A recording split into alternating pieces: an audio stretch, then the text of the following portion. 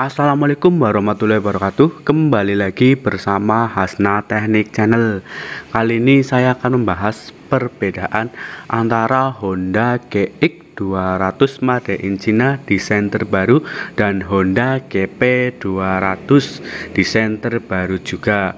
Karena Honda setiap tahunnya pasti ada kenaikan harganya dan juga beberapa tahun sekali pasti mereka merubah dari segi desainnya. Itu berguna untuk menghindari peniruan atau merek-merek yang selain Honda untuk meniru desainnya dari Honda. Dan dari perubahan ini ada beberapa desain yang diubah oleh Honda sendiri. Oke kita akan langsung aja lihat ke videonya apa aja perbedaan antara Honda GX 200 Made in China dan Honda GP 200 yang pertama kita akan lihat dulu dari Honda GP 200 ya. Ini dia Honda GP 200 ini desain terbaru saya sudah juga pernah bahas. Ini yang baru yaitu pada bagian fan covernya.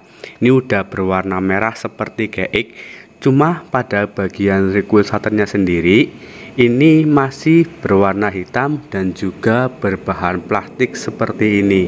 Dan ada tulisannya Honda GP baik untuk GP 160 pun sama desainnya seperti ini cuma beda di tulisannya. Dan sedangkan untuk Honda GX 200 Made in China ini seperti ini tidak ada perubahan. Warna fan covernya pun tetap merah dan recoil starternya pun tetap merah dan berlubang-lubang seperti ini dan terbuat dari plat ya bukan dari plastik seperti tipe GP untuk pada bagian desain tangki bensinnya sendiri ini udah menyamping ini ya untuk lekukannya ini. Antara Honda GX 200 Made in China dan GP ini sama desainnya menyamping semuanya seperti ini. Sehingga ketika kita akan mengisi bensin itu apabila bensinnya ada yang luber atau tumpah itu jatuhnya ke samping ke sini ke bagian regulatornya bukan ke bagian businya. Jadi untuk menghindari percikan dari busi jadi lebih aman ya kalau menyamping ke sini melebarnya ya. Terus dari bagian samping sini untuk yang tipe GX sendiri nih di bagian ini ada stikernya ya. Di sini ada tulisannya Made in China kalau yang tipe GP ini polos tidak ada stikernya sama sekali. Teman-teman bisa lihat perbedaannya kan itu ada stiker yang Honda GX 200 Made in China dan GP itu polos ya bersih nggak ada stikernya sama sekali. Dan kalau di bagian tangki sebelah depan sini juga sama kalau Honda GX 200 Made in China juga ada stiker-stikernya ini kayak bahasa tulisan Cina. Kalau Honda GP itu polos. Dan kalau dari belakang sini ini karburatornya untuk Honda GX 200 Made in China ini dari produknya Kehin ya. Dan pada bagian setelan anginnya itu tidak bisa disetel atau paten ya. Ini dari produknya Kehin. Dan untuk GP 200 juga sama menggunakan produk dari Kein dan untuk setelan angin pada karburatornya juga sama ini. Tidak bisa disetel beda dengan Honda yang Made Honda GX yang Made in Thailand itu bisa disetel di bagian anginnya.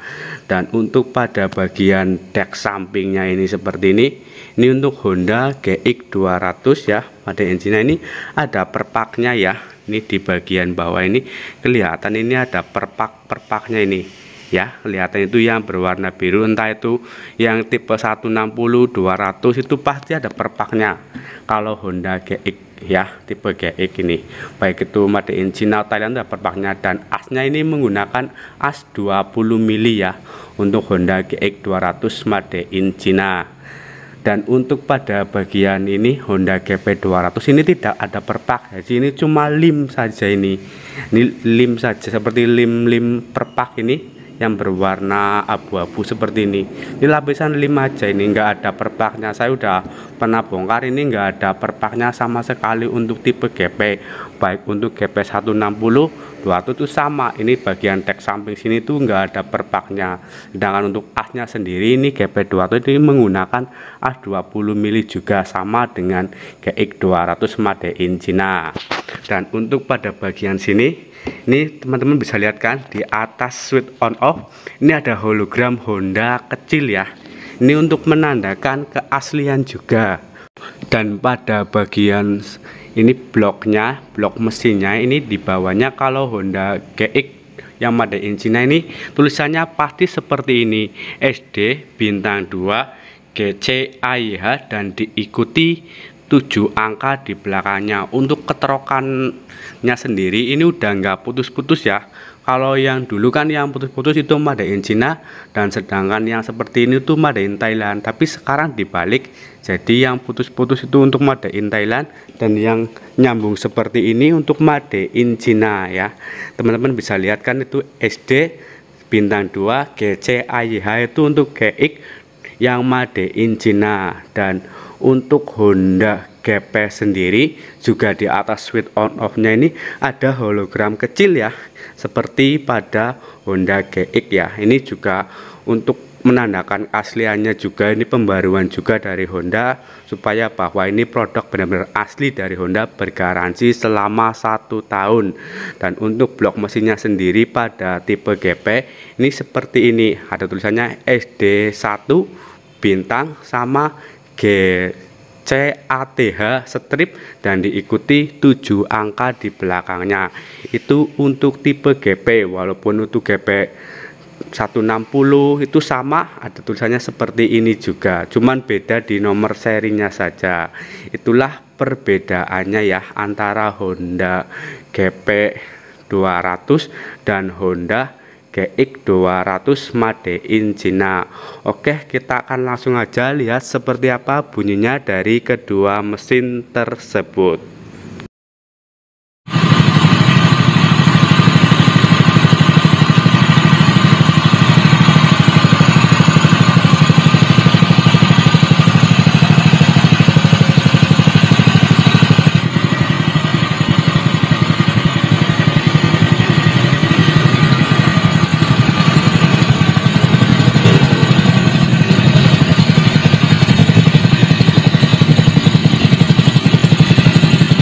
itulah tadi bunyinya teman-teman antara Honda GX 200 Made in China dan Honda GP 200 menurut saya pribadi sih didengar dari bunyi itu hampir tidak ada perbedaan. Memang kalau Honda GX 200 Made in China sedikit sekali lebih halus dibandingkan untuk tipe GP 200 nya dan untuk harganya sendiri itu Honda GX 200 Made in China itu sekarang sekitar 3 juta 700an sedangkan untuk Honda GP 200 nya sendiri itu harganya sekitar 2 juta 900 ribuan. Jadi sisi harganya itu lumayan ya sekitar 800 ribuan. Itu antara sama-sama bisa mendapatkan 6,5 PK daripada Honda ada garansinya juga sama tapi dengan selisih harga yang cukup lumayan ya. Itu bisa jadi pertimbangan untuk teman-teman. Dan untuk perbedaannya dari segi desain itu hanya di request starter dan untuk Honda GP sendiri itu bagian deck samping itu tidak ada perpaknya. Itu sih perbedaan secara desainnya saja. Kalau dari segi penggunaan itu Honda GP memang kasarannya itu kalau diajak kerja itu kira-kira berapa jam ya? 5 jam sekali lah. Kisarannya seperti itu. Harus berhenti dulu. Dan kalau Honda GX itu bisa diajak kerja keras. Itulah saja perbedaan antara kedua mesin tersebut antara Honda GX 200 Made in China dan Honda GP 200 Ya, itulah perbedaan antara kedua mesin tersebut yang dapat saya sampaikan. Apabila ada pertanyaan, silahkan tanyakan di kolom komentar. Jangan lupa untuk like, share, komen, dan subscribe. Wassalamualaikum warahmatullahi wabarakatuh.